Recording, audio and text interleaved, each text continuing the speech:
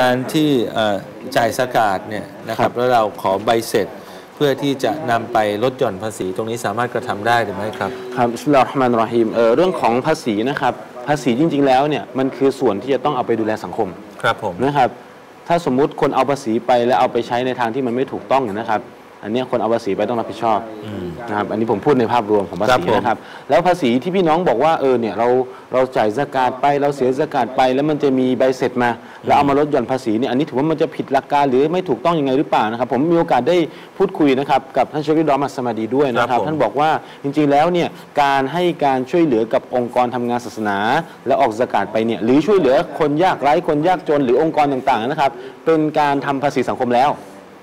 ดังนั้นการที่ได้มีใบเสร็จเนี่ยนะครับแล้วก็ไปลดหย่อนภาษีเนี่ยที่จะมอบให้กับรัฐบาลเนี่ยนะครับคือเราได้ทำหน้าที่แล้ว เราได้ทำหน้าที่ในการจ่ายภาษีไปแล้วนะครับดังนั้นครับมันก็ไม่เป็นไรนะครับในการที่จะมาลดหย่อนตรงนี้คครับรับผมทำดุลิล